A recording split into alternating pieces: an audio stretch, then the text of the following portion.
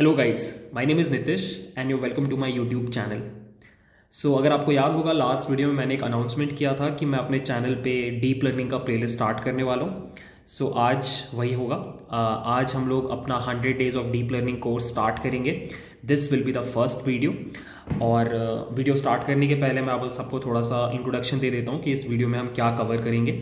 सो so, since हम लोग just start कर रहे हैं और मैंने डिसाइड किया है कि ये जो कोर्स है वो बिल्कुल बिगिनर फ्रेंडली होगा। तो फिर the idea is very simple कि हम लोग एकदम स्क्रैच से स्टार्ट करेंगे और ग्रेजुअली कॉम्प्लेक्स टॉपिक्स में मूव करेंगे।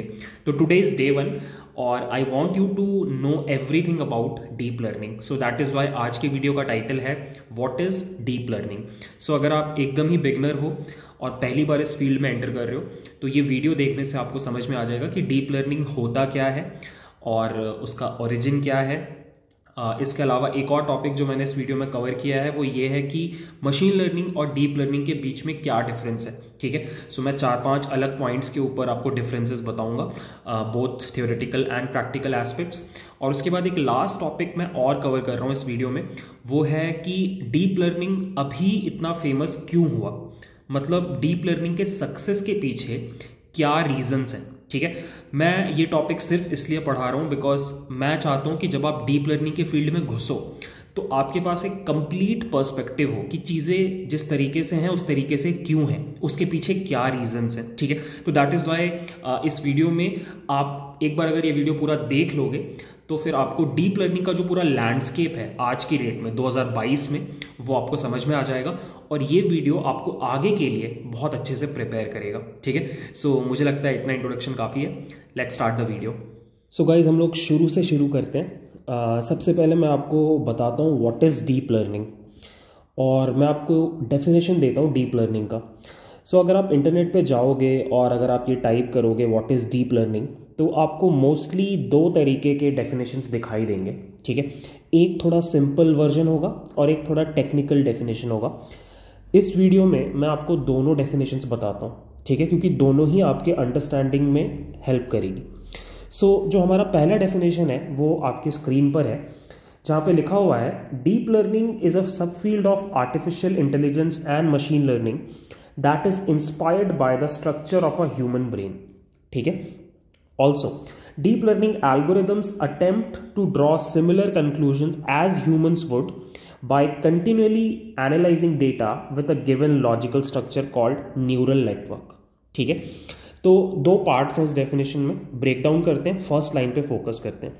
तो फ़र्स्ट लाइन से हमें ये समझ में आ रहा है कि deep learning is a sub field of A I and machine learning ठीक है? सो ये डायग्राम आपको थोड़ा हेल्प करेगा। इस डायग्राम में देखो क्लियरली दिख रहा है कि जो सबसे बड़ा अम्ब्रेला टर्म है, जिसके अंदर सब कुछ आता है, वो है आर्टिफिशियल इंटेलिजेंस ठीक है? आर्टिफिशियल इंटेलिजेंस क्या है? ये बेसिकली हम ह्यूमन बींग्स की खुजली है, जहाँ पे हम, हमारे जैसे इंटेलिजेंट मशीन्स बनाना चाहते हैं। इसके पीछे हम लोग सालों से लगे हुए हैं, शायद सौ सालों से। और कुछ कुछ डेवलपमेंट भी हुआ है, जिसमें से सबसे बड़ा डेवलपमेंट है machine learning so machine learning is basically a sub field of A I जहाँ पर आप क्या करते हो डेटा uh, से लर्न करते हो। You learn from data so अगर आपके पास एक डेटा है तो उस डेटा में अगर इनपुट है और आउटपुट है तो आपके मशीन लर्निंग एल्गोरिदम का काम क्या होता है कि इनपुट से आउटपुट का जो रिलेशनशिप है वो फिगर आउट करना। ठीक है? तो machine learning is a sub field of A आई अब डीप लर्निंग क्या है? Deep learning is a sub field of machine learning जहाँ पे आप सारी चीज़ें बिल्कुल मशीन लर्निंग की तरह कर रहे हो बट मशीन लर्निंग और डीप लर्निंग में जो एक सबसे बड़ा डिफरेंस आ जाता है वो ये है कि मशीन लर्निंग आपका जो है, वो स्टैटिस्टिकल टेक्निक्स पर डिपेंड करता है। ठीक है? ये जो रिलेशनशिप इसको निकालना है इनपुट और आउटपुट के बीच में इस रिलेशनशिप को कैप्चर करने के लिए मशीन लर्निंग एल्गोरिदम्स ज़्यादातर machine learning algorithms statistical techniques के ऊपर फोकस करते हैं। वेयर एज आपका जो डीप लर्निंग है, वो एक लॉजिकल स्ट्रक्चर के ऊपर डिपेंड करता है, जिसको हम न्यूरल नेटवर्क बोलते हैं। और ये जो न्यूरल नेटवर्क है, ये इंस्पायर्ड है ह्यूमन ब्रेन से। कंप्यूटर साइंटिस्ट ने बोला कि यार, अगर हमें इंटेलिजेंट चीज़ें बनानी ही है तो let's get inspired by the most intelligent thing on earth human beings human beings जिस तरीके से सोचते हैं जिस तरीके से डिसीज़न uh, मेकिंग करते हैं वॉट इफ़ हम एल्गोरिदम्स बनाएँ जो उन उस तरीके से uh, उस उस थिंकिंग को मैप कर पाए ठीक है? तो neural network is basically a logical structure which is inspired by human brain ठीक है? एंड यही जो कलेक्शन ऑफ़ एल्गोरिदम्स हैं, इनको आप कलेक्टिवली डीप लर्निंग बोलते हो। ठीक है? अब मैं आपको एक डीप लर्निंग न्यूरल नेटवर्क का एग्जांपल दिखाता हूँ। ये रहा वो example this is a neural network एक सिंपल न्यूरल न्यूरल नेटवर्क है जिसको हम ए एन एन बोलते हैं। आर्टिफिशियल न्यूरल नेटवर्क ठीक है? अब इसके बारे में हम बहुत डिटेल में पढ़ने वाले हैं। मैं आपको बस एक हल्का सा इंट्रोडक्शन देता हूँ।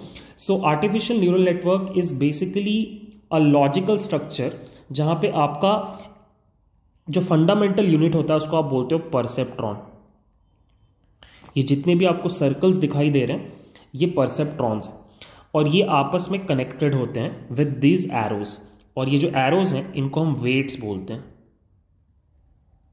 ठीक है? और इसको लेयर बोलते हैं। ये सारे लेयर्स हैं। जो एक लाइन में सारे परसेप्ट्रॉन्स हैं, इनको आप लेयर बोलते हो। ये सारे लेयर्स हैं, ठीक है? अब यहाँ से आप इनपुट देते हो और यहाँ से आपको आउटपुट मिलता है। ये बहुत ही मैंने एकदम बच्चों वाला आपके सामने डिस्क्रिप्शन दे दिया। अब लेयर में जिस जगह से आपको इनपुट मिलता है, उसको आप इनपुट लेयर बोलते हो। और जिस जगह से आपको आउटपुट मिलता है, उसको आउटपुट लेयर बोलते हो। अब बीच में आप कितने भी लेयर्स ऐड कर सकते हो, यहाँ पे दो हैं बट आप कितने भी ऐड कर सकते हो, इनको हिडन लेयर बोला जाता है, ठीक है? इनफैक्ट ये फन फैक्ट है कि डीप लर्निंग जो नाम आ रहा है, वो इस चीज़ से आ रहा है कि आपके पास कितने हिडन लेयर्स हैं। अगर बीच में बहुत सारे हिडन लेयर्स हैं तो फिर ये जो ये जो पूरा नेटवर्क है, ये डीप हो जाता है, ठीक है? तो that is why this name deep learning ठीक है? तो अब आपके दिमाग में सवाल आ रहा होगा कि क्या हमारे पास सिर्फ़ एक ही टाइप का न्यूरल नेटवर्क होता है या फिर there are different types so the answer is कि there are different types of neural networks ये सिर्फ़ एक टाइप है। सो ए एन एन हुआ, सबसे सिंपल वाला। फिर होता है C N N convolutional neural network ठीक है?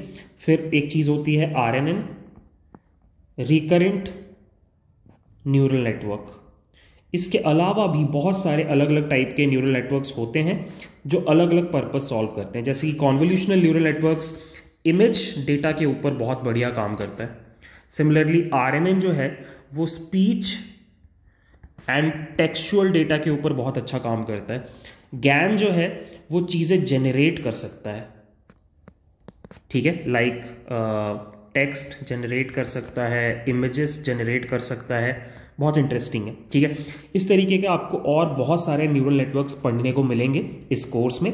बट अभी तक का जो डिस्कशन है, उसके बेसिस पे मैं समराइज करता हूँ कि deep learning is a sub field of machine learning तो मतलब मशीन लर्निंग जो काम करता है डीप लर्निंग भी वही काम करता है, बस अलग तरीके से करता है, ठीक है? काम क्या है? इनपुट और आउटपुट के बीच का रिलेशनशिप खोजना मोस्टली सुपरवाइज लर्निंग में।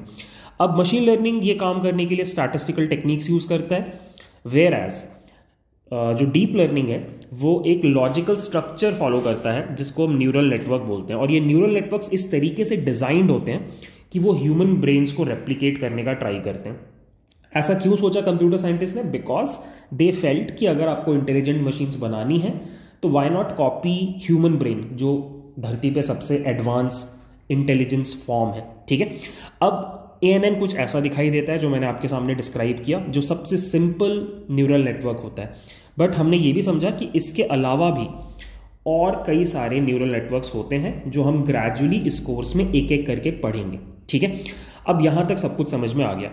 अब सवाल ये आता है और आना भी चाहिए आपके दिमाग में कि why is deep learning getting so famous मतलब recently you must have notice कि डीप लर्निंग बहुत ज़्यादा हर जगह सुनाई दे रही है, दिखाई दे रही है।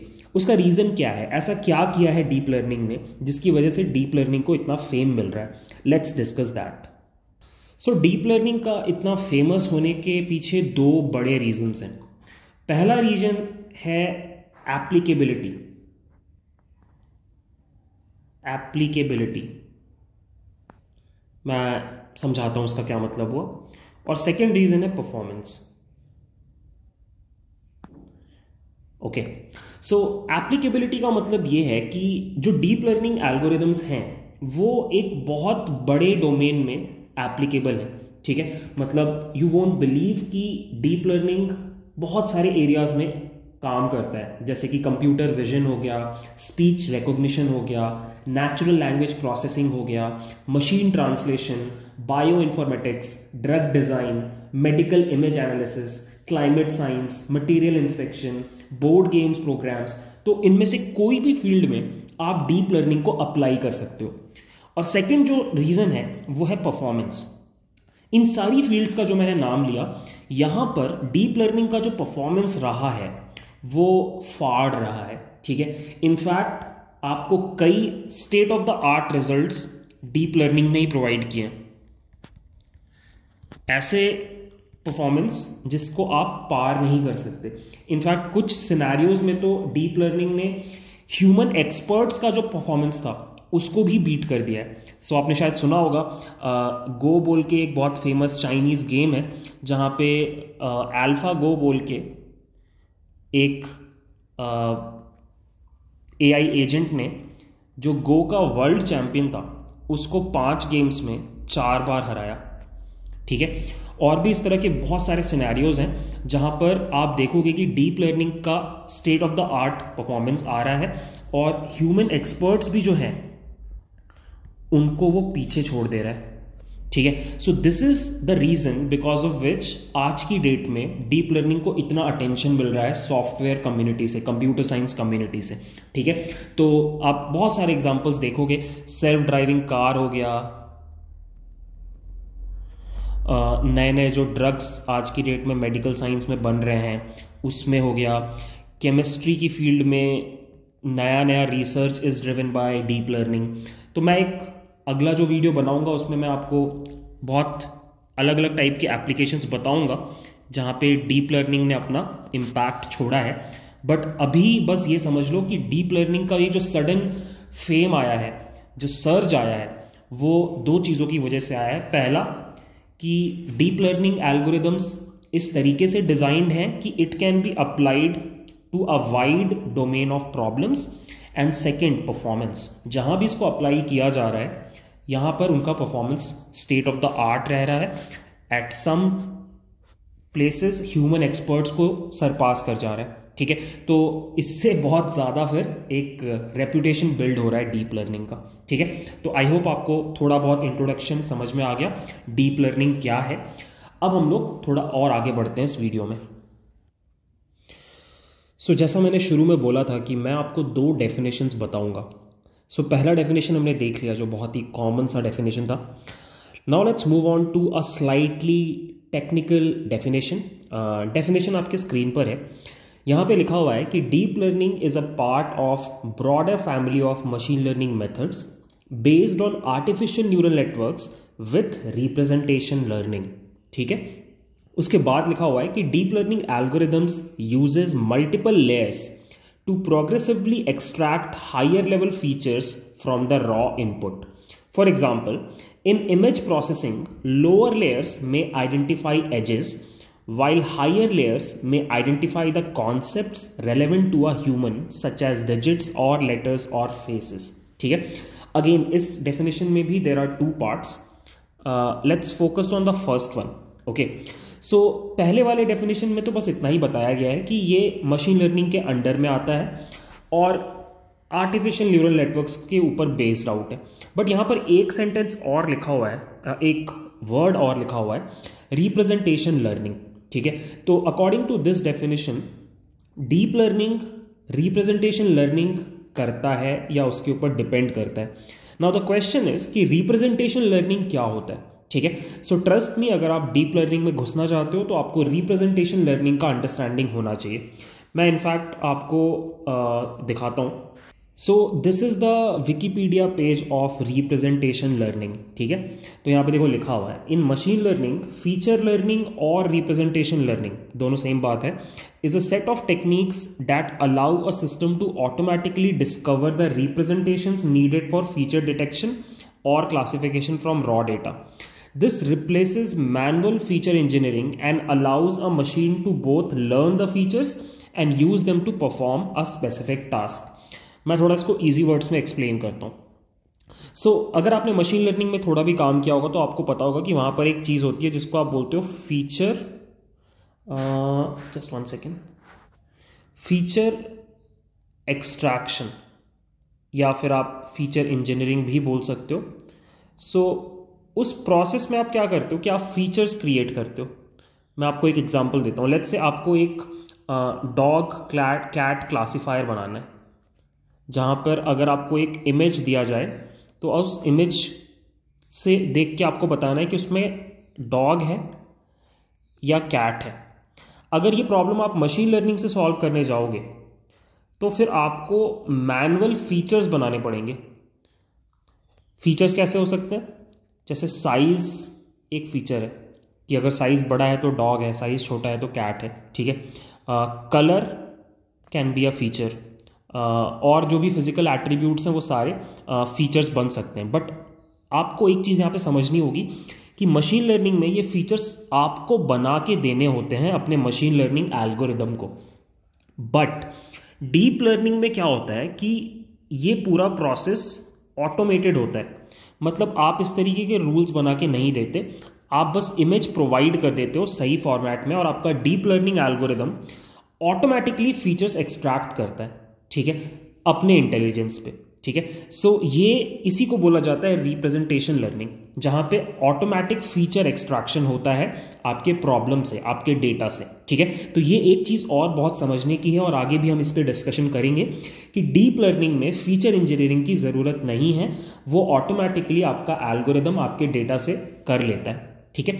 अब अगर आप second part of the definition में मूव करो तो यहाँ लिखा है कि deep learning algorithm uses multiple layers ये हम ऑलरेडी देख चुके हैं to progressively extract higher level features from raw input ठीक है? और फिर एक एग्ज़ाम्पल दिया हुआ है। मैं सेम एग्ज़ाम्पल आपको समझाता हूँ।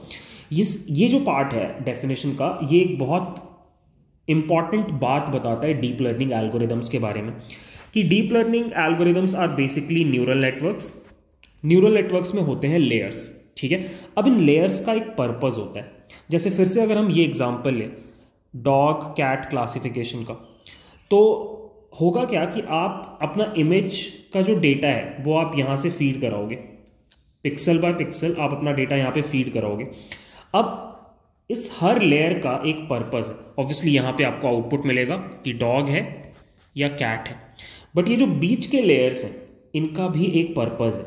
सो so, जो शुरू वाले लेयर्स होंगे ना वो थोड़े प्रिमिटिव फीचर्स एक्सट्रैक्ट करेंगे आपके डेटा में से। जैसे अगर आप कैट डॉग एनालिसिस कर रहे हो तो ये जो पहले वाले लेयर्स हैं, ये एजेस डिटेक्ट करते हैं। ठीक है? फिर अगर आप आगे के लेयर्स में जाओ तो ये फिर थोड़े और complex features like shapes detect करेंगे। ठीक है? एजेस एज इन इस तरीके से एजेस डिटेक्ट हो रहा है। अगले वाले लेयर से शेप्स डिटेक्ट हो रहे हैं। और फिर धीरे धीरे आप और जितना आगे जाते जाओगे, उनसे और कॉम्प्लेक्स फीचर्स बनाते जाएँगे, जैसे कि फेसेस तो वही यहाँ पे लिखा हुआ है। एक बार अगर आप इसको पढ़ो तो यहाँ लिखा हुआ है in image processing lower layers में identify edges while higher layers में identify the concept relevant to human, such as digit और लेटर्स और फेसेस ठीक है? तो धीरे धीरे आप यहाँ से चीज़ें आइडेंटिफाई करते हो। तो शुरू में बेसिक चीज़ें और ग्रेजुअली कॉम्प्लेक्स चीज़ें और इवेंचुअली आप अपना रिज़ल्ट लास्ट लेयर में देते हो। तो ये जो डेफिनेशन था, ये आपको दो चीज़ें समझा रहा है, मैं फिर से समराइज करता हूँ। First deep learning uses representation learning जिसका मतलब ये हुआ कि फीचर्स एक्सट्रैक्ट करने का लोड आपके ऊपर नहीं है, वो मशीन अपने आप कर लेगा एल्गोरिदम अपने आप कर लेगा। Second part of the definition से आपने ये सीखा कि इसके काम करने का तरीका क्या है। इसके काम करने का तरीका ये है कि आप इनपुट लेयर में डेटा देते हो और फिर हिडन लेयर्स के थ्रू आप चीज़ें डिटेक्ट करना स्टार्ट करते हो। तो शुरू वाले hidden layers primitive features extract करते हैं और जो बाद वाले जो डीप लेयर्स हैं वो आपके कॉम्प्लेक्स फीचर्स एक्सट्रैक्ट करते हैं and that is how this thing works ठीक है? अब मैं चाहता तो ये वाला चीज़ स्किप कर सकता था इस पॉइंट पे बट मुझे लगा कि यार, ये थोड़ा आइडिया आपको शुरू में होना चाहिए, क्योंकि आगे हम इसको बार बार डिटेल में डिस्कस करने वाले हैं। सो गाइज़ अब हमें थोड़ा आइडिया हो गया है कि डीप लर्निंग क्या होता है। अब हम लोग नेक्स्ट डिस्कस करेंगे कि डीप लर्निंग और मशीन लर्निंग के बीच में क्या पॉइंट ऑफ़ डिफरेंसेस हैं।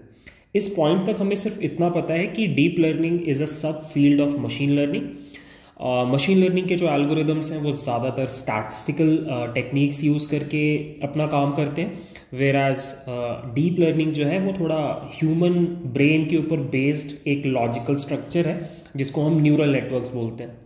तो अब उसके अलावा प्रैक्टिकलिटी लेवल पे क्या और पॉइंट ऑफ़ डिफरेंसेस हैं, वो हम लोग डिस्कस करने वाले हैं. सो so, सबसे पहले uh, मैंने यहाँ पे पाँच पॉइंट्स लिख दिए और यही वो पाँच पॉइंट्स हैं जिनके ऊपर हम लोग बात करेंगे ठीक है? तो सबसे पहला जो पॉइंट ऑफ़ डिफरेंस है between deep learning and machine learning वो ये है कि डीप लर्निंग जो है उसको जो डेटा है वो बहुत ज़्यादा चाहिए होता है ठीक है? मशीन लर्निंग के कंपैरिजन में। सो so, अगर आप किसी प्रॉब्लम के ऊपर काम कर रहे हो तो आप उसके ऊपर डीप लर्निंग तभी अप्लाई कर सकते हो जब आपके पास बहुत सारा डेटा हो, ठीक है? सो समहाउ डीप लर्निंग को चीज़ों के बारे में श्योर होने में थोड़ा ज़्यादा डेटा की ज़रूरत होती है। थोड़े ज़्यादा डेटा को देखने के बाद ही आपका जो परफॉर्मेंस होता है डीप लर्निंग मॉडल्स का वो रिलायबल होता है। अगर आप यहाँ पर देखो, ये एक बहुत फ़ेमस ग्राफ है जहाँ पर एक्स एक्सिस पे है अमाउंट ऑफ़ डेटा जो आपके पास ट्रेनिंग कराने के लिए अवेलेबल है और आपके वाई एक्सिस पे है परफॉर्मेंस ऑफ़ द मॉडल और अगर आप इस ग्राफ में ये पॉइंट को पकड़ो, ये पॉइंट मान लो आपके पास इतना डेटा है मतलब डेटा कम है तो यू कैन सी कि आपका जो मशीन लर्निंग मॉडल्स हैं, उनका परफॉर्मेंस डीप लर्निंग मॉडल से बेटर है। तो इन अ वे ये ग्राफ बोल रहा है कि for less data for less data M L wins ठीक है? बट जैसे आप इस अमाउंट से ज़्यादा डेटा लेके आते हो, दो चीज़ें देखने को हैं।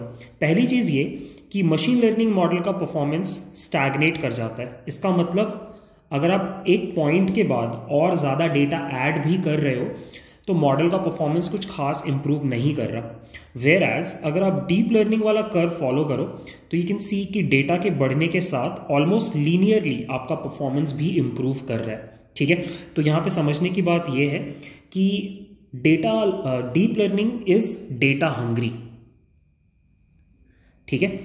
और जैसे जैसे डेटा बढ़ता है लीनियरली परफॉर्मेंस भी बढ़ता है, ठीक है? तो सबसे पहला डिफरेंस ये है। दूसरा बहुत बड़ा डिफरेंस है हार्डवेयर का। सो मशीन लर्निंग मॉडल्स को अगर आप ट्रेन करना चाहो तो आप अपने सिंपल मशीन के ऊपर सीपीयू यूज़ करके ट्रेन कर सकते हो। बट डीप लर्निंग मॉडल्स के अंदर बहुत कॉम्प्लेक्स मैट्रिक्स मल्टीप्लिकेशन चल रहा होता है। बहुत ज़्यादा नंबर्स का। तो इसको हैंडल करने के लिए आपको जीपीयू की ज़रूरत होती है ग्राफिकल प्रोसेसिंग यूनिट की, ठीक है? उसके बिना अगर आप सीपीयू के ऊपर रन करोगे, अपने डीप लर्निंग मॉडल्स को तो जो आपका डीप लर्निंग मॉडल है इट विल रन स्लो ठीक है? तो यू नीड पावरफुल जीपीयूज ठीक है? विथ मोर मेमोरी जहाँ पर आप ये मैट्रिक्स मल्टीप्लिकेशन वाले कैलकुलेशंस कर पाओ। ठीक है? तो हार्डवेयर हमें थोड़ा कॉस्टली पड़ता है इन डीप लर्निंग ठीक है? सेकेंड पॉइंट ऑफ़ डिफरेंस ये है कि मशीन लर्निंग चीप हार्डवेयर में भी चल जाएगा but machine deep learning models को ट्रेन करने के लिए आपको कॉस्टली हार्डवेयर चाहिए और कॉस्टली हार्डवेयर चाहिए आपको जीपीयू के लिए ग्राफिकल प्रोसेसिंग यूनिट के लिए, ठीक है? थर्ड आपका पॉइंट है training time again deep learning models are complex and that is why आपका model training time is high the training time is very high in comparison to machine learning where the training time is low ठीक है? तो deep learning में in fact अगर आप एक बहुत बड़े डेटा सेट के ऊपर डीप लर्निंग एल्गोरिदम अप्लाई करोगे तो मैंने तो सुना है कि लोगों को वीक्स लग जाते हैं मॉडल को ट्रेन करने में। वीक्स ठीक है? और कई बार मैंने सुना है मंथ्स भी लगे हैं कुछ रिसर्चर्स को, कुछ स्पेसिफिक पर्पज़ के लिए। Whereas machine learning model में मॉडल को ट्रेन करने के लिए यू हार्डली नीड मिनट्स कभी कभी ऐसा हो सकता है कि आपको कुछ घंटे मॉडल को चलाना पड़े। मैंने नहीं सुना है कि पूरे पूरे दिन या पूरे पूरे week machine learning model train हो रहा है, ठीक है? तो ट्रेनिंग टाइम बहुत हाई होता है डीप लर्निंग में। अगर आप प्रिडिक्शन टाइम की बात करो तो प्रिडिक्शन टाइम डीप लर्निंग में बहुत फास्ट है। क्यों फास्ट है? आपको आगे जाके समझ में आ जाएगा। वेर एज अगर आप मशीन लर्निंग एल्गोरिदम्स का बात करो तो कुछ एल्गोरिदम्स में प्रिडिक्शन टाइम बहुत स्लो है, जैसे कि के एन एन के टाइप के एल्गोरिदम में प्रिडिक्शन करने में बहुत टाइम लगता है। तो it varies for machine learning prediction time varies लेकिन ट्रेनिंग टाइम पक्की बात है कि मशीन लर्निंग का कम है डीप लर्निंग का बहुत ज़्यादा है। ठीक है? नेक्स्ट पॉइंट फीचर सिलेक्शन इस पॉइंट के बारे में हमने ऑलरेडी डिस्कशन किया है। आ, हमने डिस्कस किया था कि there is a thing called representation learning हमने जस्ट थोड़ी देर पहले डिस्कस किया था। जहाँ पे हमने ये सीखा था कि deep learning algorithms automatically data के अंदर से रेलेवेंट फीचर्स एक्सट्रैक्ट कर लेते हैं। ठीक है? वेयर एज अगर आप मशीन लर्निंग के साथ काम कर रहे हो तो वो फीचर्स आपको मैनुअली एक्सट्रैक्ट करने पड़ते हैं। ठीक है? मैं आपको एक एग्जांपल देता हूँ। सो so, कुछ दिन कुछ एक साल पहले हम लोग एक रेज्यूमे बेस्ड प्रोजेक्ट बना रहे थे। रेज्यूमे बेस्ड प्रोजेक्ट था। जहाँ पे लेट्स से हम, मैं अभी एग्जांपल देने के लिए आपको बता रहा हूँ कि रेज्यूमे के कंटेंट को देख करके हमें ये प्रिडिक्ट करना था कि उस बच्चे का प्लेसमेंट होगा या नहीं होगा सो so दैट हम उसको कुछ फीडबैक दे पाए। अब जब आप इसमें मशीन लर्निंग अप्रोच लगाओगे तो आपको क्या करना पड़ेगा? आपको इस रेज्यूमे के अंदर से फीचर्स एक्सट्रैक्ट करने पड़ेंगे। जैसे कि एक फीचर हो सकता है ट्वेल्थ के मार्क्स दूसरा फीचर हो सकता है टेंथ के मार्क्स तीसरा फीचर हो सकता है नंबर ऑफ़ अचीवमेंट्स और एक फीचर हो सकता है नंबर ऑफ़ कोर्सेज और एक फीचर हो सकता है क्वालिटी ऑफ़ कॉलेज ये सारे फीचर्स आप बना सकते हो और फिर आप ये प्रिडिक्शन करवा सकते हो कि प्लेसमेंट होगा या नहीं होगा. बट ऑब्वियसली इस फीचर को बनाने के लिए वी नीड डोमेन एक्सपर्ट्स मुझे कुछ एच के साथ बैठना पड़ेगा या फिर कुछ टीचर्स के साथ बैठना पड़ेगा, जो मुझे बताएँगे कि इस तरह के आप फीचर्स बनाओ। ठीक है? Depending on the domain but अगर आप ये प्रोजेक्ट डीप लर्निंग के थ्रू करोगे तो आपको बस पूरे रेज्यूमे के कंटेंट को सही फॉर्म में एल्गोरिदम को प्रोवाइड करना है। बिहाइंड द सीन्स वो ऑटोमेटिकली फीचर्स एक्सट्रैक्ट करेगा और ये प्रिडिक्शन करके आपको दे देगा। ठीक है?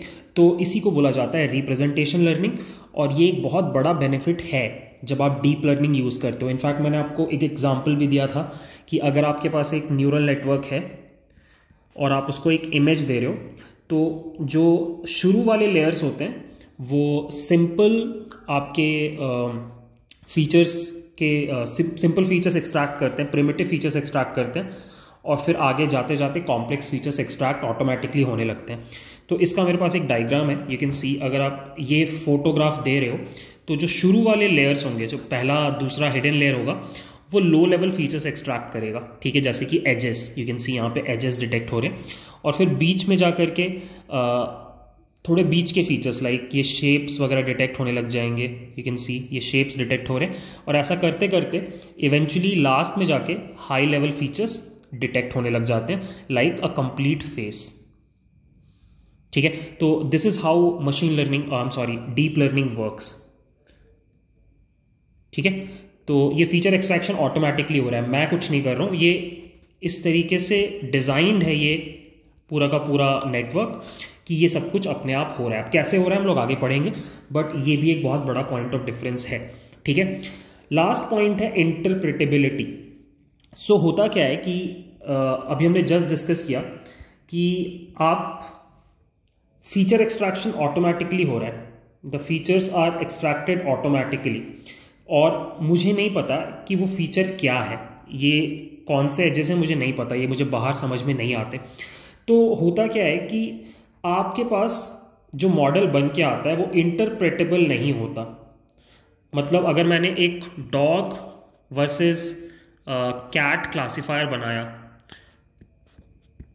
इस तरह का आर्किटेक्चर में मैंने बनाया, ठीक है? तो इसका काम है कि मैं इसको जैसी एक इमेज दूँगा, ये मुझे बता देगा कि ये डॉग है या कैट है। अब मैंने बताया कि ऑलरेडी किस तरीके से काम करेगा। पहले वाला लेयर कुछ प्रिमिटिव फीचर्स खोजेगा, आगे वाला लेयर थोड़ा कॉम्प्लेक्स फीचर्स खोजेगा बट इंटरनली जो भी होगा, वो एक ब्लैक बॉक्स की तरह होगा। मतलब ये मुझे नहीं बताएगा कि इसने क्या देखा उस इमेज के अंदर।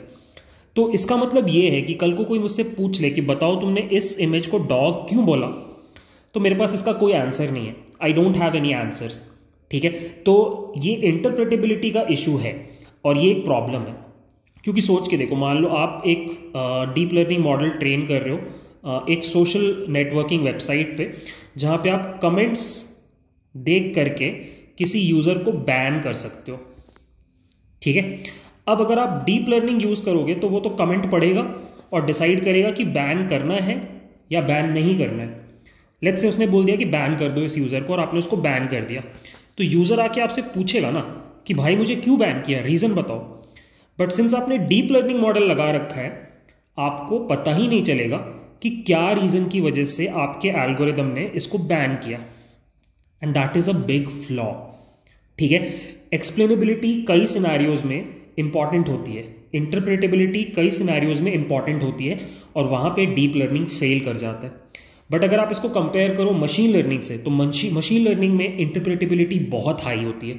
जैसे कि लेट्स से आप एक लीनियर मॉडल ट्रेन कर रहे हो एक लॉजिस्टिक रिग्रेशन मॉडल ट्रेन कर रहे हो जहाँ पे सीजीपीए एक कॉलम है आई क्यू दूसरा कॉलम है और प्लेसमेंट होगा या नहीं होगा तीसरा कॉलम है। तो यहाँ पर आप क्या करोगे, जब लॉजिस्टिक रिग्रेशन मॉडल ट्रेन करोगे तो दो वेट्स होंगे डब्ल्यू वन और W two W one weightage बता रहा है इस फीचर का और डब्ल्यू टू इसका।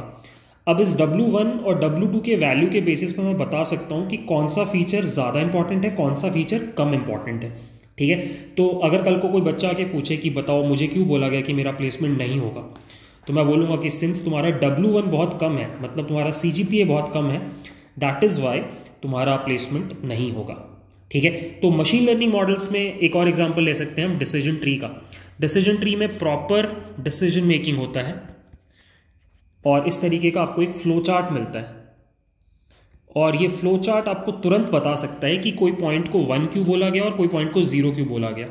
तो यहाँ पर जो एक्सप्लेनेबिलिटी है, या फिर आप बोल सकते हो इंटरप्रिटेबिलिटी है दैट इज़ क्वाइट हाई और ये उन सिनेरियोज में बहुत हेल्प करता है जहाँ पे आपको सामने वाले को बताना है। कि रीज़न क्या था तुमको? वन या ज़ीरो देने का। ठीक है? तो ये पाँच पॉइंट ऑफ़ डिफरेंसेस हैं। एक बार समराइज करते हैं। डेटा डिपेंडेंसी डीप लर्निंग का बहुत ज़्यादा है। मशीन लर्निंग का बहुत कम है। बट अच्छी बात यह है कि डीप लर्निंग जैसे जैसे डेटा बढ़ता है, उसका परफॉर्मेंस लीनियरली बहुत बढ़िया स्केल करने लग जाता है। हार्डवेयर की बात करें तो यहाँ पे डीप लर्निंग पीछे रह जाता है। क्यों? क्योंकि इसको बहुत तगड़ा हार्डवेयर चाहिए जीपीयू चाहिए कॉम्प्लेक्स मैट्रिक्स मल्टीप्लिकेशन हैंडल करने के लिए। तो ये डीप लर्निंग के अगेंस्ट है।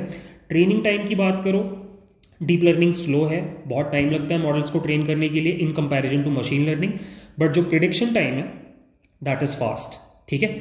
फीचर सिलेक्शन मैंने ऑलरेडी बता दिया। रिप्रेजेंटेशन लर्निंग फॉलो होती है। खुद से फीचर्स जनरेट हो जाते हैं। ठीक है? और लेयर्स का चक्कर क्या था? शुरू वाले लेयर्स छोटे फीचर्स खोजते हैं, आगे वाले लेयर्स कॉम्प्लेक्स फीचर्स खोजते हैं। ये सब आपको समझ में आ गया। लास्ट है interpretability deep learning is a black box अंदर उसने क्या सोचा, क्या डिसाइड किया, सिर्फ़ उसी को पता है। हमें नहीं पता चल सकता। उसकी वजह से अगर हम किसी ऐसे सिनेरियो में काम कर रहे हैं जहाँ पे हमें रिज़ल्ट के साथ ये भी बताना है कि क्यों हम उस रिज़ल्ट पे पहुँचे। तो deep learning is not a good choice ठीक है? तो ये चार पाँच चीज़ें हैं। आई गेस इन चार पाँच चीज़ों को पढ़ने और समझने के बाद आप एक कंक्लूजन पे पहुंचोगे कि मशीन लर्निंग को रिप्लेस नहीं कर सकता डीप लर्निंग बहुत लोगों को ऐसा लगता है या दिमाग में आता है कि डीप लर्निंग अगर इतना अच्छा है पावरफुल है तो why not use deep learning in every project right तो उसका रीज़न यही है कि कुछ चीज़ों में मशीन लर्निंग डीप लर्निंग से बेटर है। और एक पुरानी कहावत आपने सुनी होगी कि जहाँ पे सुई की ज़रूरत होती है वहाँ पे तलवार यूज़ नहीं करते। तो वही बात है मशीन लर्निंग सुई है और डीप लर्निंग तलवार है। अब आपका पर्पस कपड़े सीलना है या फिर लोगों को मारना है डिपेंडिंग ऑन दैट आप सेलेक्ट करोगे कि आपको मशीन लर्निंग या डीप लर्निंग की ज़रूरत है। ठीक है? तो आई होप आपको ये पूरा सेक्शन समझ में आ गया। सो so, अभी तक हमने काफ़ी चीज़ें पढ़ी रिगार्डिंग डीप लर्निंग अब हम कुछ क्वेश्चंस का आंसर करेंगे, ठीक है? सो जब मैं डीप लर्निंग पढ़ रहा था, पढ़ने के प्रोसेस में मुझे एक सवाल आ रहा था मेरे दिमाग में कि डीप लर्निंग अभी क्यों इतना फ़ेमस हो रहा है? मैं एक दो वीडियो के बाद आपको हिस्ट्री ऑफ़ डीप लर्निंग पढ़ाऊँगा। वहाँ पे आप नोटिस करोगे कि डीप लर्निंग के ऊपर जो काम होने लगा था, वो 1960s में ही स्टार्ट हो गया था, ठीक है? एलन ट्यूरिंग के टाइम से। बट फ़ेमस अब जाके हुआ। अराउंड 2012 बोला जाता है ब्रेक थ्रू ईयर इसके बाद चीज़ें चेंज हुई। तो ऐसा क्या हुआ है 2010 के बाद कि आपका डीप लर्निंग सडनली से इतना पावरफुल फ़ेमस टेक्नोलॉजी बन गया। सो so, इस क्वेश्चन का आंसर अगर आपको करना है तो देर आर मल्टीपल रीजन्स ठीक है? सो वाई नाउ का आंसर अलग अलग तरीके से हो सकता है। मैं एक एक करके बताता हूँ आपको। सबसे पहला जो रीज़न है, वो है डेटा सेट्स हम इस बारे में थोड़ी देर के बाद बात करेंगे। दूसरा जो रीज़न है, वो है फ्रेमवर्क्स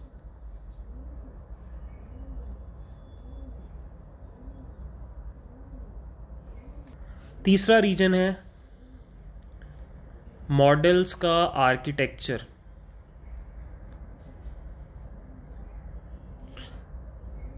और चौथा रीज़न है हार्डवेयर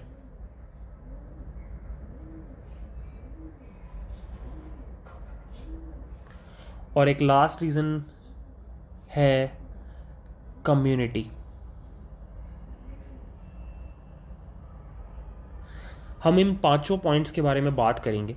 इससे क्या होगा कि आपको थोड़ा पर्सपेक्टिव मिलेगा कि डीप लर्निंग जो होता है कंपनीज़ करती हैं इंडस्ट्री में होता है उसके पीछे ड्राइविंग फोर्सेस क्या है? ठीक है? Let's start with the first one data sets so मैंने ऑलरेडी ये बता रखा है आपको कि deep learning is data hungry it is data hungry मतलब इसको अपने प्रिडिक्शंस करने के लिए बहुत सारा डेटा चाहिए। ठीक है? बहुत सारा डेटा मिलने के बाद ही ये श्योर हो पाता है कि डेटा के अंदर क्या पैटर्न्स हैं।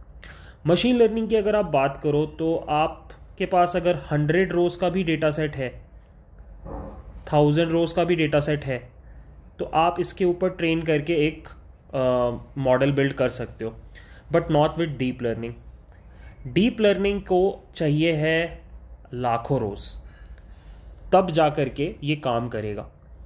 अब अच्छी बात ये हुई कि अराउंड 2010 दो रिवॉल्यूशन आए हमारे सोसाइटी में। फ़र्स्ट आया स्मार्टफ़ोन रेजोल्यूशन रिवॉल्यूशन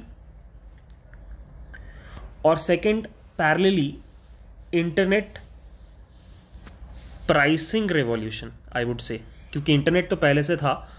प्राइसेस बहुत रिड्यूस हो गए। अगर आपको याद होगा 2015-16 के अराउंड रिलायंस जियो मार्केट में एंटर किया और फ्री में हाई स्पीड इंटरनेट प्रोवाइड करने लग गया। और फिर इन दोनों चीज़ों को अगर आप कंबाइन करके देखो तो धरती में हर किसी के पास स्मार्टफोन्स हैं with high speed internet connection जो अब अलग अलग ऐप्स यूज़ करते हैं। तो उसके बाद बहुत सारे ऐप्स आ गए टिकटॉक उसके बाद स्नैपचैट और खूब सारे और सोशल मीडिया प्लेटफॉर्म्स आ गए।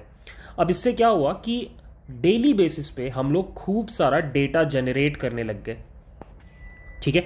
इनफैक्ट मैंने एक स्टडी में पढ़ा था कि ह्यूमन हिस्ट्री में जब से हमने डेटा जनरेट करना स्टार्ट किया था, तब से लेके 2015 तक, अगर हमने एक्स जीबी डेटा जनरेट किया होगा तो 2015 से 2016 में हमने फिर से एक्स जीबी डेटा जनरेट कर दिया।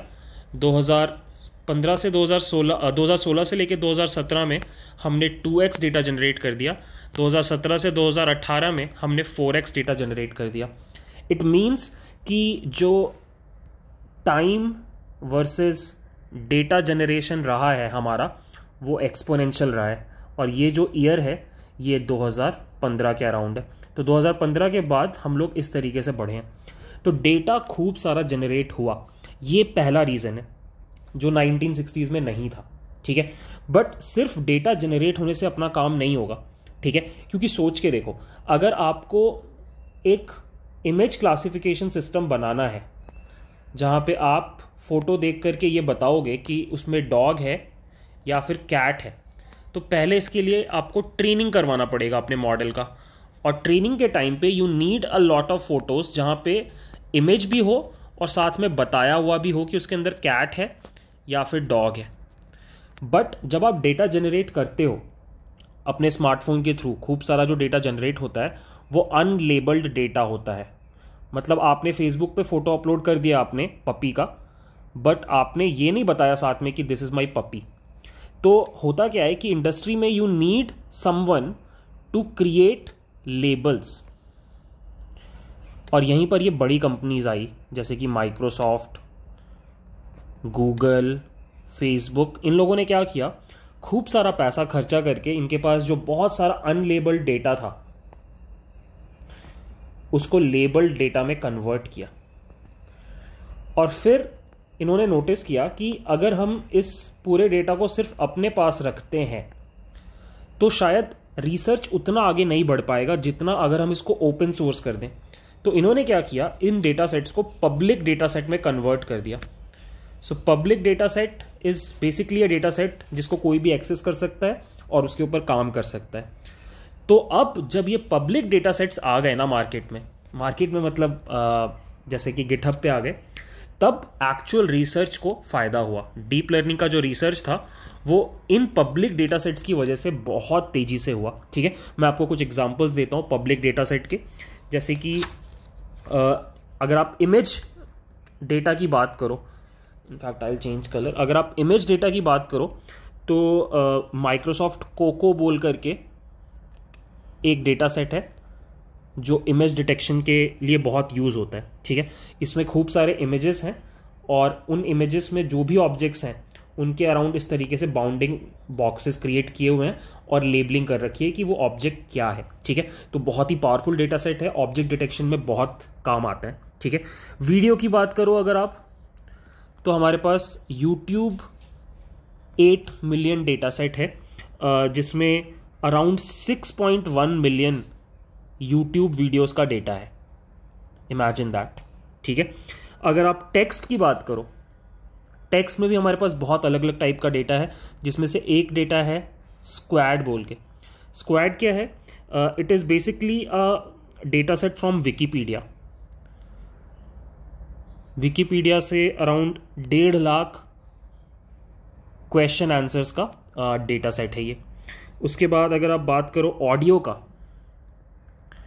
तो ऑडियो में भी अलग अलग डेटा सेट्स हैं, जैसे कि गूगल का एक ऑडियो सेट बोल के डेटा है, जिसमें around 20 lakh 20 lakh sound clips हैं, जो उन्होंने यूट्यूब से निकाला है। अंडर मोर देन 600 कैटेगरीज तो ये तो सिर्फ़ चार पाँच मैंने एग्जांपल्स दिए।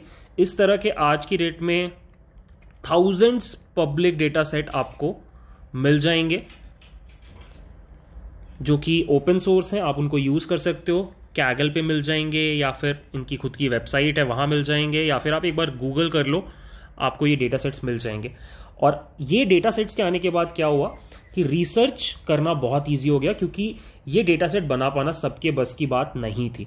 तो अगर आप मुझसे पूछो कि आज की डेट में ही डीप लर्निंग इतना पावरफुल क्यों है तो उसका सबसे बड़ा रीज़न सबसे बड़ा contributor would be data set because without data there would be do no deep learning so मेरे हिसाब से डीप लर्निंग को पुश देने में जो सबसे बड़ा सेकेंड फैक्टर है, वो है हार्डवेयर हार्डवेयर मतलब कंप्यूटिंग हार्डवेयर ठीक है?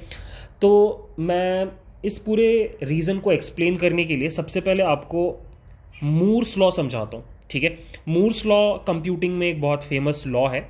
मूर्स मुझे मुझे इनका फ़र्स्ट नाम नहीं पता but he is the founder he was the co founder of Intel उन्होंने ये दिया था लॉ uh, कि number of transistors on a microchip doubles every two years though the cost of the computer is halved ठीक है? इनका मतलब ये हुआ कि हर दो साल में आप एक चिप के ऊपर आप एक चिप के ऊपर, कोई भी चिप ले लो लेट्स से आप आई सेवन ले लो, उसके ऊपर आप जितने ट्रांजिस्टर्स बिठा सकते हो, उसका नंबर हर दो सालों में डबल हो जाएगा और इसको बनाने के लिए जो कॉस्ट लगता है, वो हाफ़ हो जाएगा। एंड इसीलिए अगर आप नोटिस करो तो मार्केट में हर कमोडिटी का प्राइस बढ़ता है बट इलेक्ट्रॉनिक्स जो हैं, उनका प्राइस घटता है। मतलब स्मार्टफोन्स हर अगले साल चीपर प्राइस पे आते हैं और I am not talking about the flagship products but आप देखो आ, कितने सस्ते हो गए हैं फ़ोन्स और जो परफॉर्मेंस है वो इम्प्रूव करता जाता है। तो हार्डवेयर का जो परफॉर्मेंस है वो हमेशा इम्प्रूव करेगा ये मूर्स लॉ बोलता है। और इसीलिए अगर आप नोटिस करो तो आई डोंट नो आप लोग 2005-2006 में क्या कर रहे थे बट उस टाइम पे जो फ़ोन्स आते थे उसमें hardly 128 twenty eight M B RAMs होता था रैम होता था, ठीक है? वही आज का स्मार्टफ़ोन अगर आप देखो तो 12 जी बी रैम वाले फ़ोन्स भी आ रहे हैं, ठीक है? तो दैट इज़ वाई हार्डवेयर में एक रिवॉल्यूशन चला आ रहा है और वो अभी भी कंटिन्यूड है और उसने बहुत ज़्यादा पुश दिया डीप लर्निंग को। डीप लर्निंग की अगर आप बात करो तो ये तो ऑलरेडी पता है कि it needs a lot of data अब लॉट ऑफ़ डेटा के ऊपर इट डज मेट्रिक्स ऑपरेशंस ये आप पढ़ोगे। तो आपको खूब सारा नंबर्स को हैंडल करने वाला डेटा प्रोसेसिंग पावर चाहिए। अगर आप सीपीयू को यूज़ करोगे तो training time would be high ठीक है? या फिर लो स्पीड हो जाएगा। At that point around 2010 someone realised कि मैट्रिक्स ऑपरेशन जो है, या मैट्रिक्स मल्टीप्लीकेशन जो मुझे करना है I can convert it into a parallel task I can implement parallel processing ठीक वैसे ही जैसे आपको एक इमेज को, एक हाई क्वालिटी इमेज को रीड करने के लिए या रेंडर करने के लिए पैरेलल प्रोसेसिंग की ज़रूरत होती है। और इस पर्पज़ के लिए अगर लोग जीपीयू यूज़ करते हैं तो फिर सिमिलरली इस मैट्रिक्स ऑपरेशन के लिए भी हम जीपीयू क्यों ना यूज़ करें? ठीक है? तब जा कर के ये एक आइडिया फ्लोट हुआ डीप लर्निंग कम्युनिटी में कि अब हम लोग जी को यूज़ करेंगे। To train our neural networks ठीक है?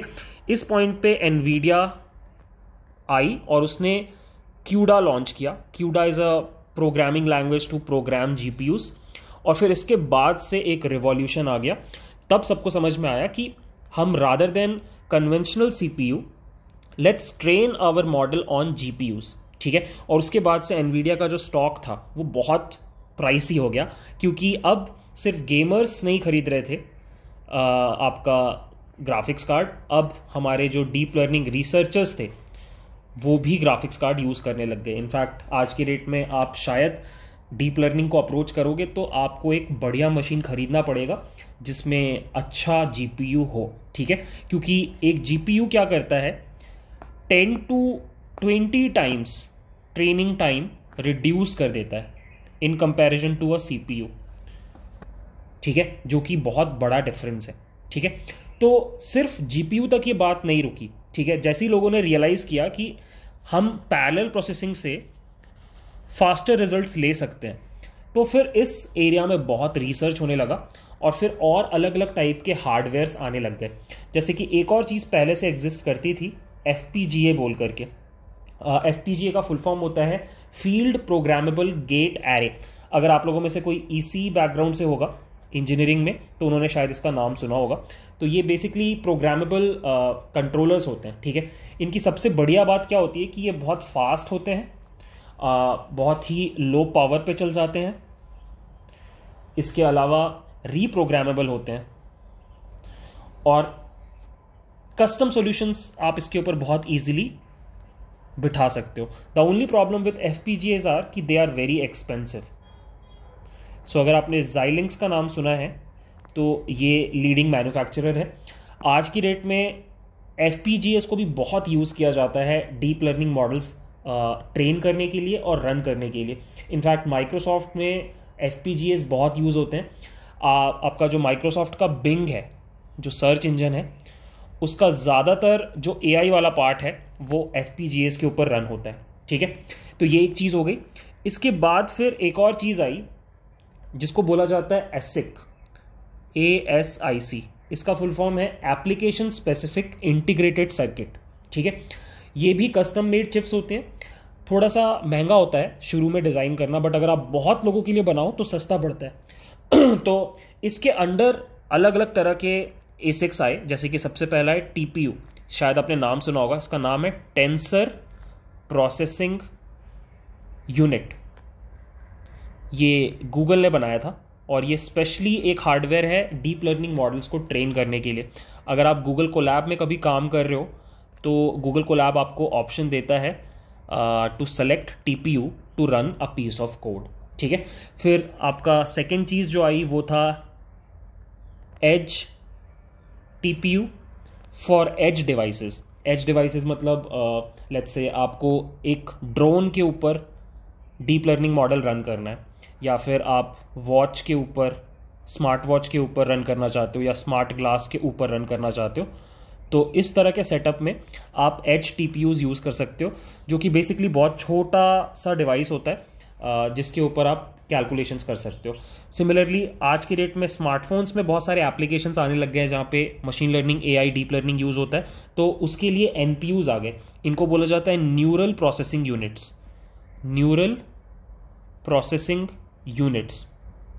अब इनका काम होता है कि आपके मोबाइल डिवाइस पे जो इस तरह के ऑपरेशंस होते हैं, उनको एक्सक्लरेट करना। ठीक है? तो अगर हम एग्जांपल लें कि कब किस तरह का हार्डवेयर काम आ सकता है तो आई वुड से कि अगर आप स्टार्ट कर रहे हो अभी, जस्ट अपना डीप लर्निंग का जर्नी, और आप बहुत बेसिक छोटे छोटे प्रोजेक्ट्स कर रहे हो तो आप सीपीयू के साथ काम कर सकते हो। ठीक है? अगर आप बड़े नेटवर्क्स को ट्रेन कर रहे हो थोड़ा एक्सपीरियंस गेन करने के बाद तो फिर आपको ग्राफिक्स कार्ड पे शिफ्ट कर जाना चाहिए। ग्राफिक्स कार्ड बहुत बढ़िया तरीके के आपको मिल जाएँगे। जैसे कि R T X twenty eighty T I हो गया, बहुत बढ़िया ग्राफिक्स कार्ड है। यहाँ पर ही आप टी पी यू भी यूज़ कर सकते हो, क्योंकि ये डिज़ाइंड है स्पेसिफिकली फॉर दिस पर्पज़ अगर आपको स्मार्टफ़ोन के ऊपर अपना किसी ऐप के अंदर डीप लर्निंग का इस्तेमाल करना है तो यहाँ पर आप यूज़ कर सकते हो मोबाइल वाला सी पी यू जैसे कि स्नैपड्रैगन हुआ, या फिर आप मोबाइल का जो जीपीयू है, वो यूज़ कर सकते हो। बहुत सारे डिजिटल सिग्नल प्रोसेसर्स आते हैं, वो यूज़ कर सकते हो, या फिर एन यूज़ कर सकते हो, जो मैंने ये बोला, ठीक है? अगर आपको स्मार्ट वॉच या फिर स्मार्ट ग्लास के ऊपर machine learning deep learning models run करने हैं तो यहाँ पर आप यूज़ करोगे एज टी जो मैंने ये वाली चीज़ बोली। ठीक है? या फिर आप एन भी इस्तेमाल कर सकते हो। सो so, अलग अलग रिक्वायरमेंट्स के लिए अलग अलग तरह का हार्डवेयर आया बट ये जो पिछले दस सालों में फोकस शिफ्ट हुआ कि we can make custom hardware for deep learning उसने फिर बहुत ज़्यादा फास्ट कर दिया डीप लर्निंग रिसर्च क्योंकि अब ट्रेन करने में उतना टाइम ही नहीं लगता हमें।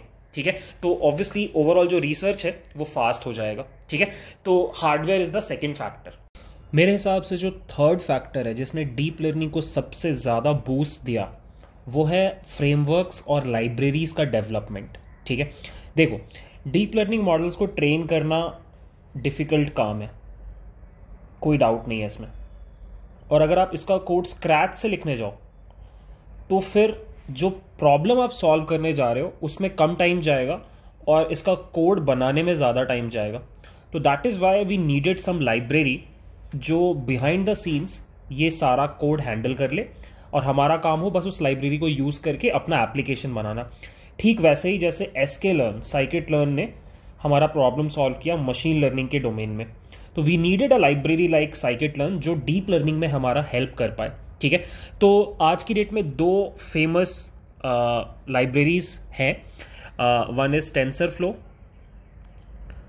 by Google and the second one is PyTorch back by Facebook और मैं आपको थोड़ा सा हिस्ट्री बता देता हूँ। 2011 में गूगल ने ऑलरेडी पोटेंशियल देख लिया था डीप लर्निंग का। तो वो लोग अपने कुछ प्रोडक्ट्स में स्पेशली स्पीच प्रोडक्ट्स में डीप लर्निंग यूज़ करना चाहते थे। सो उन्होंने इंटरनली एक फ्रेमवर्क uh, बनाया था डिस्ट बिलीफ बोल के।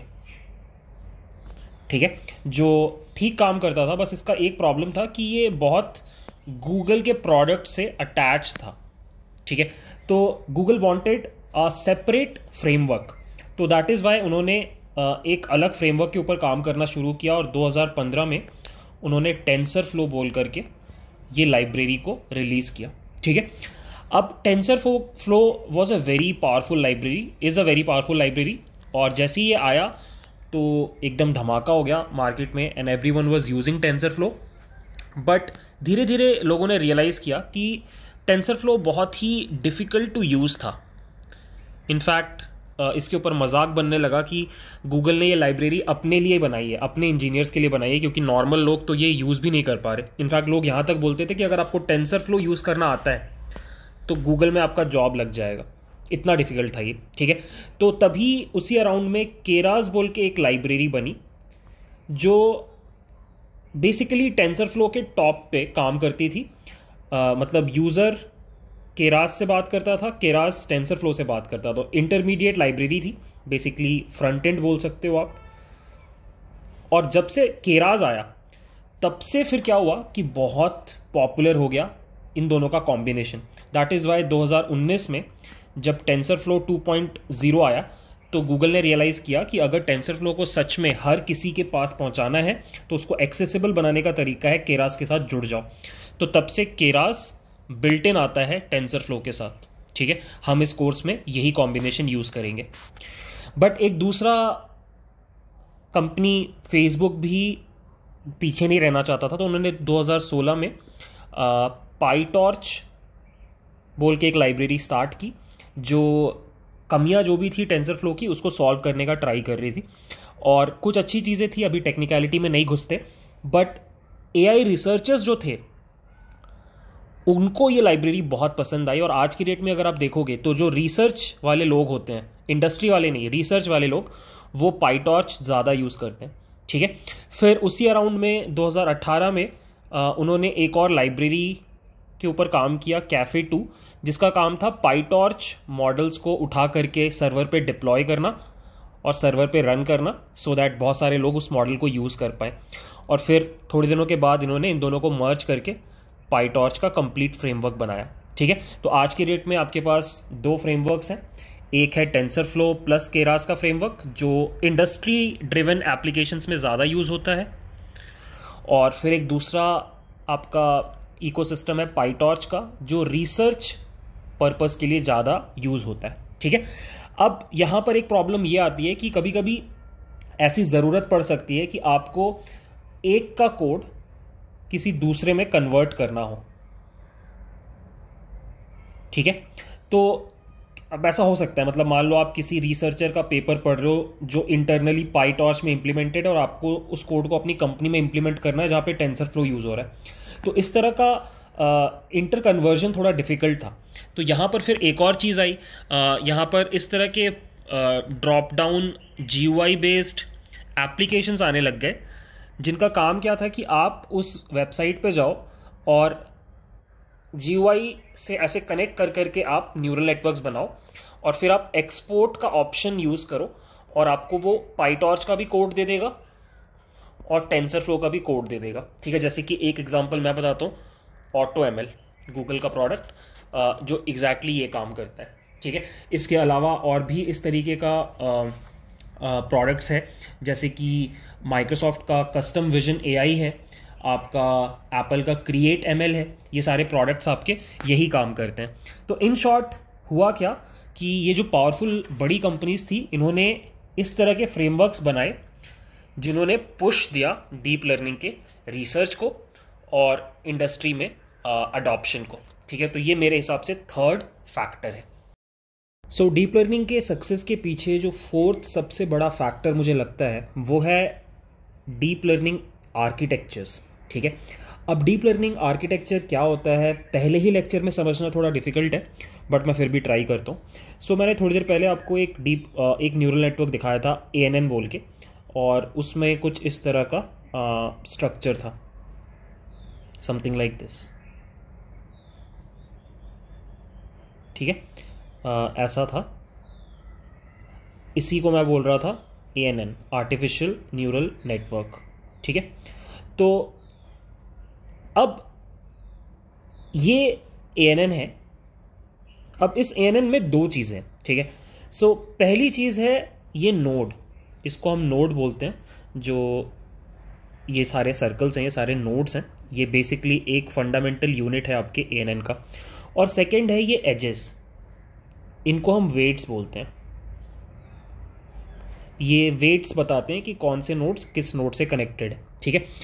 अब, इन दोनों को अलग अलग तरीके से आप क्रिएट कर सकते हो मतलब a different neural network can have less nodes और it can have different types of edges जैसे ये वाला इससे कनेक्टेड है बट ये वाला इससे कनेक्टेड नहीं है, ठीक है? तो इन दोनों के कॉम्बिनेशंस के साथ एक्सपेरिमेंट करके आप अलग अलग टाइप का एएनएन बना सकते हो। तो ये जो है ये एक आर्किटेक्चर है। This is one way of connecting nodes and edges या वेट्स ठीक है? Similarly this is the second architecture तो you can have different architectures और अलग अलग आर्किटेक्चर्स में क्या डिफरेंट होता है? अलग नोड हो सकता है जैसे सीएनएन में आ, अलग टाइप का नोड होता है। यहाँ पे जैसे परसेप्ट्रॉन है वहाँ पे दूसरा कुछ नोड होता है। आरएनएन में कुछ और नोड होता है, ठीक है? सिमिलरली वेट्स भी अलग अलग तरीके से कनेक्ट हो सकते हैं। तो depending on the problem you can create different neural network architectures ठीक है? अब कौन सा आर्किटेक्चर सबसे अच्छा काम करेगा, ये पता करने के लिए आपको एक्सपेरिमेंट करना पड़ेगा रन करके देखना पड़ेगा। ऑब्वियसली इन एक्सपेरिमेंट को रन करने में आपको टाइम लगेगा और एफर्ट लगेगा। इन सर्टन केसेस मनी भी लगेगा। तो थोड़ा मुश्किल काम है आर्किटेक्चर्स फिगर आउट करना बेस्ट वाला। लेकिन आप क्या कर सकते हो? आपके पास एक सेकेंड ऑप्शन है कि आपको कुछ एग्जिस्टिंग आर्किटेक्चर्स ऑलरेडी मिले हुए हैं। रिसर्चर्स ने क्या किया? कुछ बड़ी प्रॉब्लम्स के ऊपर ऑलरेडी कुछ न्यूरल नेटवर्क्स कुछ आर्किटेक्चर्स में बना के रखे हैं और उनको डेटा सेट पे ट्रेन भी कर रखा है।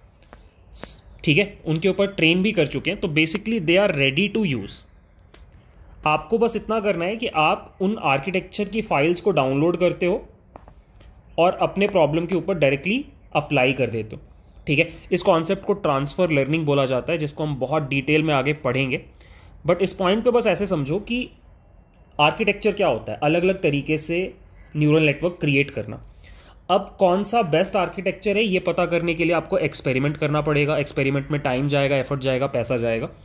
तो उससे बचने के लिए आप रिसर्चर्स का एग्जिस्टिंग आर्किटेक्चर यूज़ कर सकते हो, जो पहले से ट्रेंड है ऑन डेटा सेट्स और अब वो रेडी टू यूज़ है। मतलब इसको आप डायरेक्टली डाउनलोड करके अपने प्रॉब्लम पे अप्लाई कर दो। और इस कॉन्सेप्ट को बोला जाता है ट्रांसफ़र लर्निंग ठीक है, जो आज की डेट में इंडस्ट्री में बहुत यूज़ हो रहा है। अब बिकॉज़ ऑफ़ दिस कॉन्सेप्ट कि आप दूसरों का आर्किटेक्चर यूज़ कर सकते हो, एक मैसिव बूस्ट आया है डीप लर्निंग के अडॉप्शन में। आज की डेट में मुझे अगर एक प्रॉब्लम सॉल्व करना है तो मुझे बैठ करके अपने रिसर्चर्स को ये नहीं बोलना होगा कि तुम स्क्रैच से आर्किटेक्चर्स बनाओ। Rather I can use state of the art architecture जो ऑलरेडी बेस्ट है। मतलब बेस्ट एक्यूरेसी है इन सर्टन केसेस ह्यूमंस का एक्यूरेसी लेवल को क्रॉस कर चुका है। तो आई कैन सीधे सीधे यूज़ देम ठीक है? तो आपने शायद इनमें से कुछ एग्जिस्टिंग आर्किटेक्चर्स का नाम भी सुना होगा।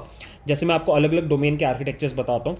जैसे लेट्स से आप इमेज क्लासिफिकेशन का बात कर रहे हो, जहाँ पे इमेज को एक क्लास या फिर दूसरे क्लास में डिवाइड करना है तो रेजनेट बोल के एक बहुत फ़ेमस न्यूरल नेटवर्क है। अगर आप टेक्स्ट क्लासिफिकेशन का बात कर रहे हो या फिर एनएलपी रिलेटेड टास्क का बात कर रहे हो तो बर्ट बोल के एक बहुत फ़ेमस आर्किटेक्चर है। इट्स अ ट्रांसफॉर्मर शायद आपने नाम सुना होगा। अगर आप इमेज सेगमेंटेशन का बात कर रहे हो तो फिर अपने पास है यूनिट अगर आप इमेज ट्रांसलेशन का बात कर रहे हो तो फिर हमारे पास एक बहुत फ़ेमस है पिक्स टू पिक्स अगर आप ऑब्जेक्ट डिटेक्शन का बात कर रहे हो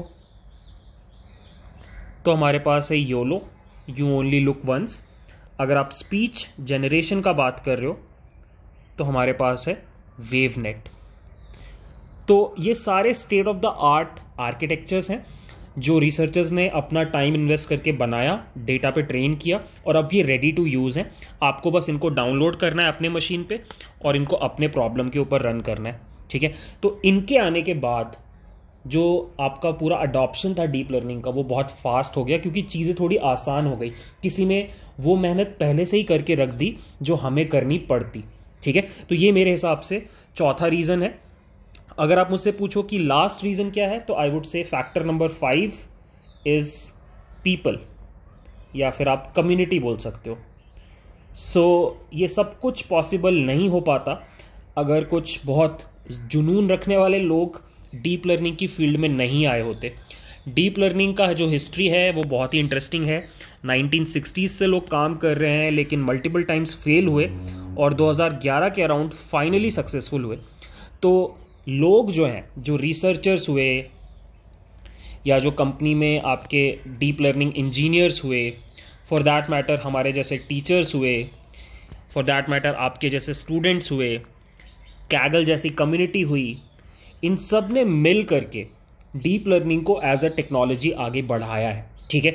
तो मेरे हिसाब से नंबर फाइव पे नहीं, शायद नंबर वन पे होना चाहिए बट ये थोड़ा नॉन टेक्निकल रीज़न है, इसलिए मैं इसको थोड़ा अलग रख रहा हूँ। But yes people have seen the potential of deep learning they know कि ये एक ऐसा टेक्नोलॉजी है जो फ्यूचर में दुनिया को बदलेगा फॉर दैट मैटर ऑलरेडी बदल रहा है।